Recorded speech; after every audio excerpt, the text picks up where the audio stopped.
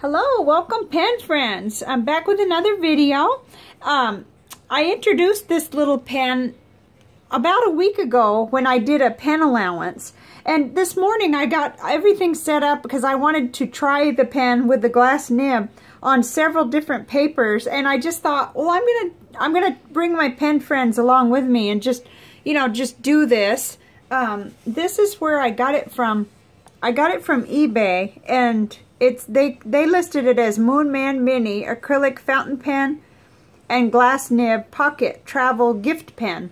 So the pen came with that glass nib, which is what I was after, and then it also had a little uh, extra nib unit in there with it, which I showed on the other video, but so that you could go to this one and it says uh, extra fine on it, and it's got kind of a little bit of a bend to it. So I'm still very much learning about this pen, and I don't want to review it yet, but I definitely want to try it out on some papers, and I had a, just an astounding time with it the very first time that I inked it up, and that's what gave me this idea to really try it on all my papers and see, you know, how um, ink comparisons would go, and this was back on the 21st when I first inked it up, and I was just blown away by what it did.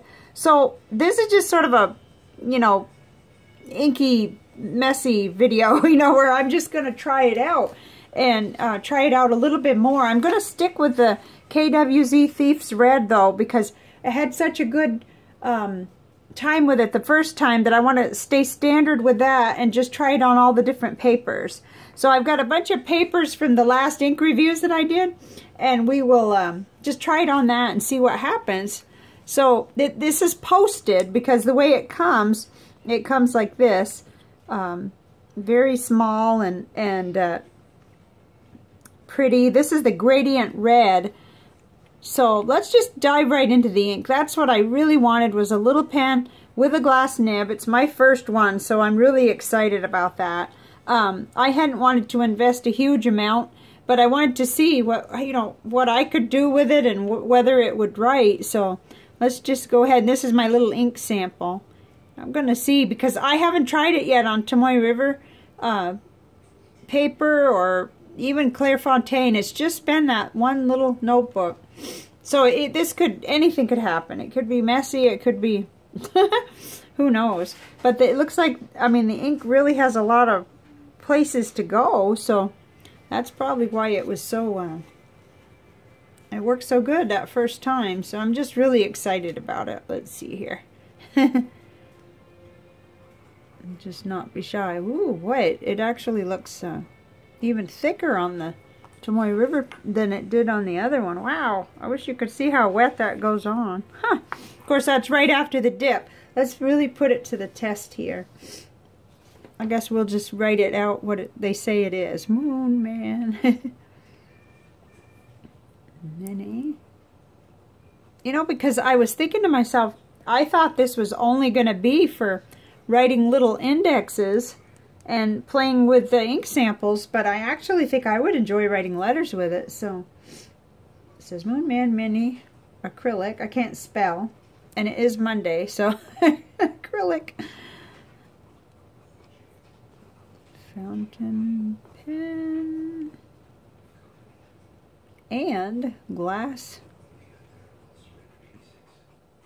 Yep. Okay, let's just get real here. All I want to do is see how far it goes and how it how it writes. And it's really pretty smooth for what I was expecting anyway. And interesting, I kind of, I've seen people turn the nib a little as they write. And so I kind of wondered if maybe that might be a trick to it. But it, it just seems to write a lot longer than what I thought.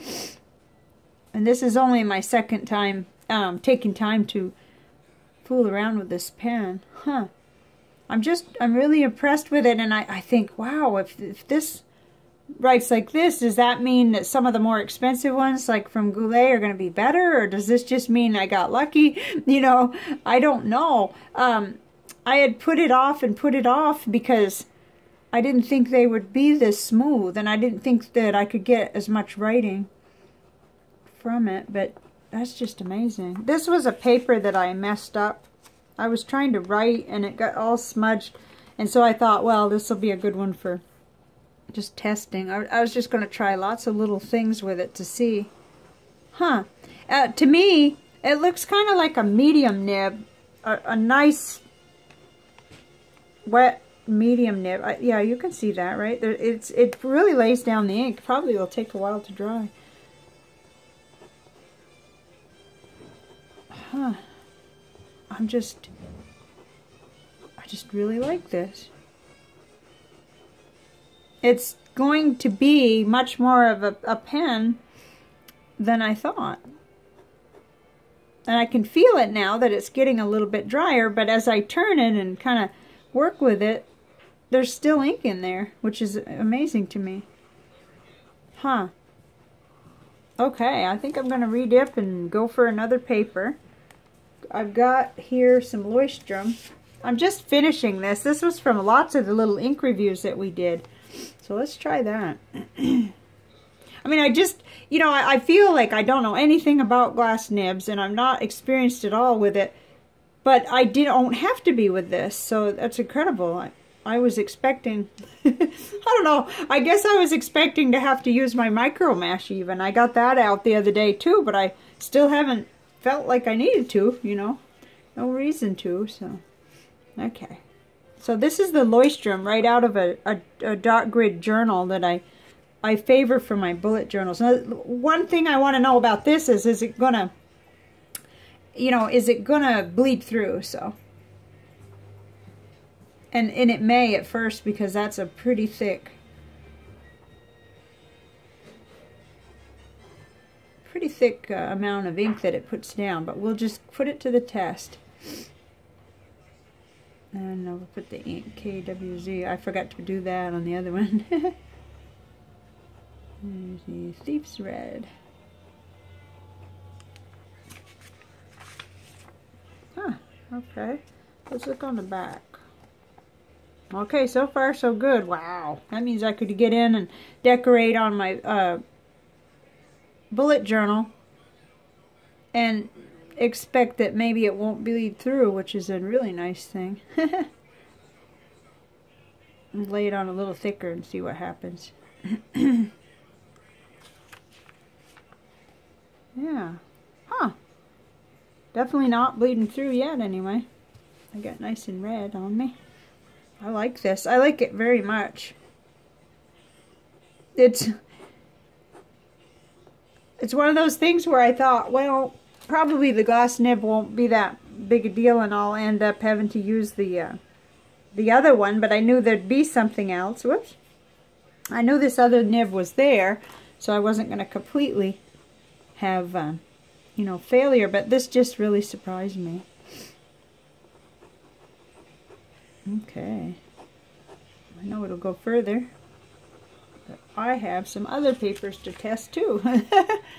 Ooh, I'm not going to stack them up though. I have a feeling they're going to need to dry. Okay, here's one. Here's a test because Clairefontaine is usually, well, I just think of it as the, the driest and the most, it needs a wet nib for sure.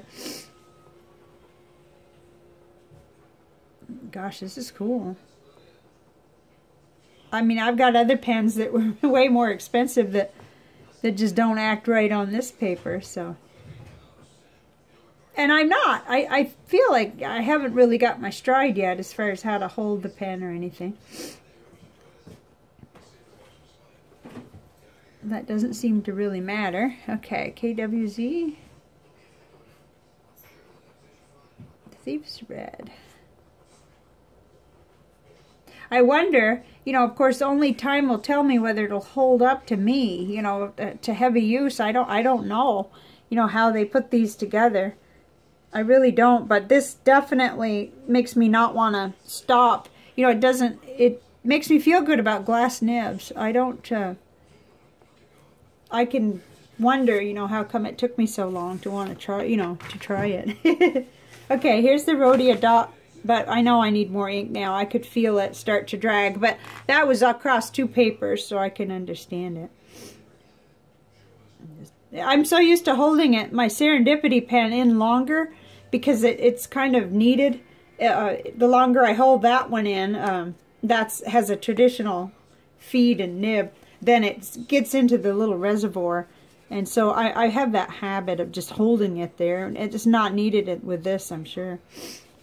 Okay, let's see here.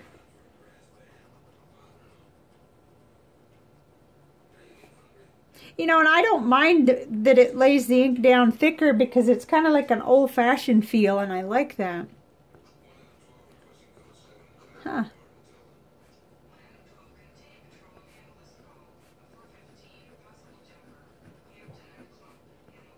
Really feel all that steady this morning with my writing.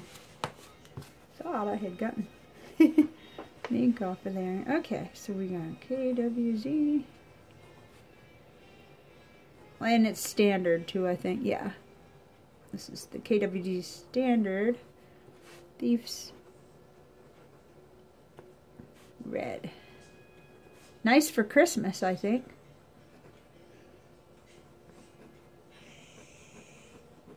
No, my writing just sloppy. Okay, let's see if I can do my name. Okay, pull it up and see how it's going on there. There, you know, I just want you to be able to see it. It goes on quite, quite wet for any nib, and I really like it. Huh. Now all I got to do is get my writing to straighten out. Maybe after I eat something it will.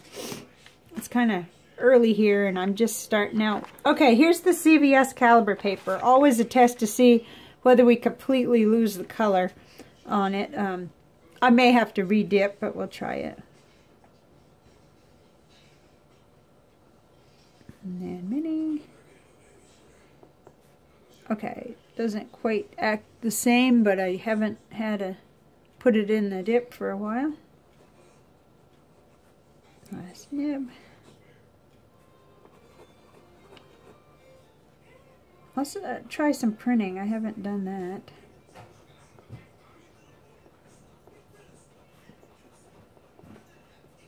Mini glass. Huh. Okay, in a minute I'm going to redip and see if that does anything different, although I don't think so, because I could still see quite a bit of ink. I just, this, this paper um, is different. It is the cheaper paper.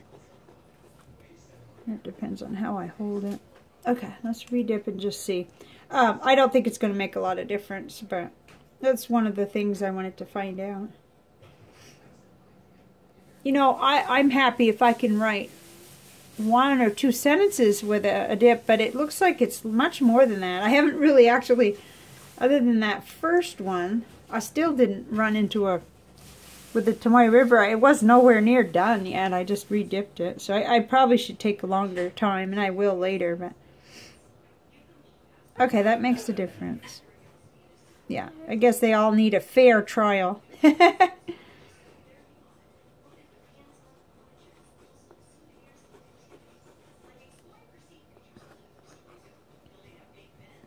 whoops, sometimes I forget to uh, do a little rotation, which really does help. But it, it, it doesn't have to happen, but it just seems like get a little bit more even distribution. Huh. I really like it. And one of the things that I like the best about this pen, let's go ahead and clean it up real quick, is that, you know, when it's being stored, it's just going to be um, covered. You know, whereas, oh, I had some wet paper towel. I just forgot about it.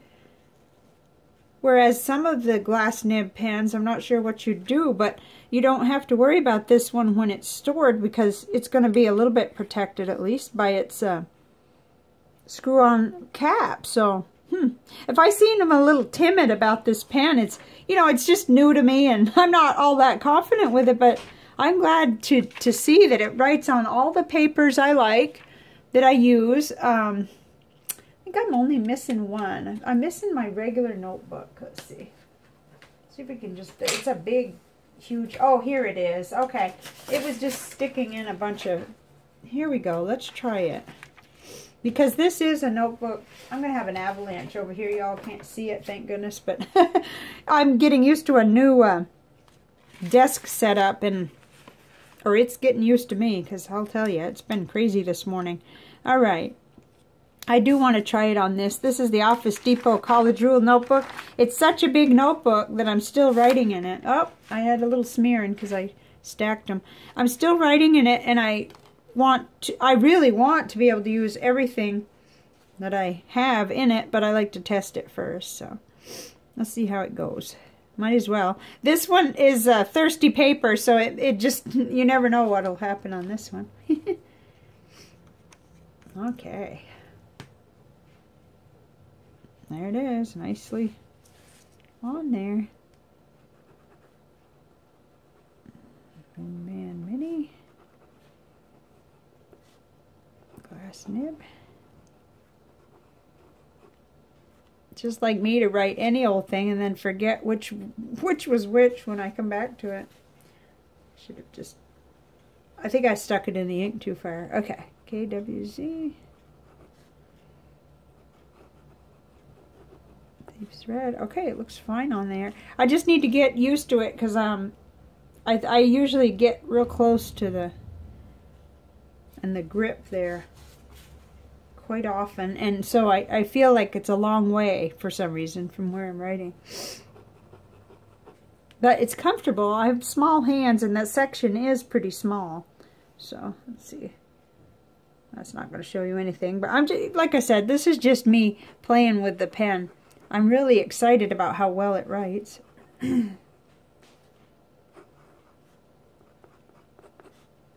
Monday. after a long holiday weekend. Just trying to get back in the swing of things. Monday all day long. yeah, I think this paper likes this pen just fine, but oh, I made such a mess. That was me, I believe, so now I can't tell though. Let's go up here where it's clean and just Let's dip again. It's not fair unless I do. Yeah, I made such a mess because I laid that right down on top of um, the CVS caliber and it hadn't anywhere near gotten done drying. So that was my fault. This would be even worse, even messier if I wasn't filming. But I just wanted to bring you guys along while I practiced with this and tried it out.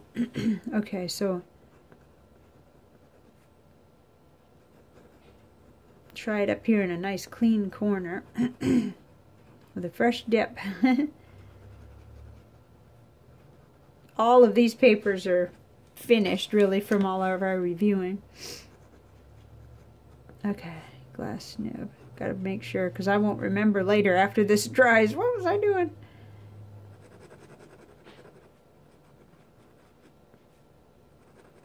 Lay it on thick and see if it bleeds through. Okay. Wow.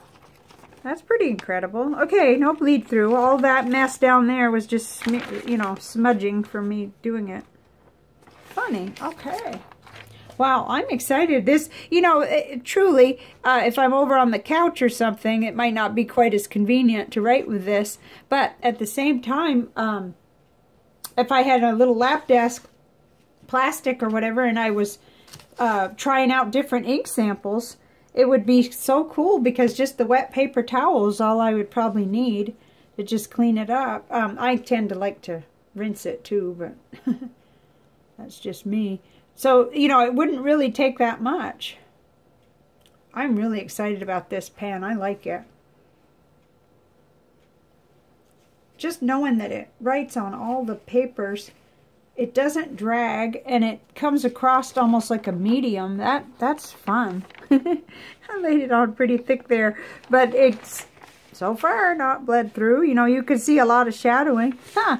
Well, this is probably like watching molasses drip, but I just thought it might be exciting if you were thinking about it. And if you're like me, I'm I'm totally happy with my other, my Moonman Minis for writers. But when I saw that this came out with the glass nib, um, and it is a little bit thinner of a pen, but it has that same style, I just, I had to have one. And uh, they're so pretty too, all the different colors. This is the gradient red, but uh, So thank you for joining me. Uh, it's a little awkward, but I'm going to be back with another video announcing um, something that I decided over the weekend that I'm we're going to be working on. So um, uh, hopefully that'll be good. I was going to combine it in this video, and then I decided not to. Um, I knew I'd be a little bit rambly. Oh, good Lord, 20 minutes. Um, so I, will be back soon with the, the announcement on the next um, inks that we're going to talk about. I'll give away that much. It's about an ink series, and I'm really excited about it. So stay tuned for that, and I hope you enjoyed seeing how this little pen does on a variety of papers. I just think that it does just as good as any other pen in my collection. So that's a nice, nice thing. I will see you next time. I appreciate each and every one of you. Bye for now.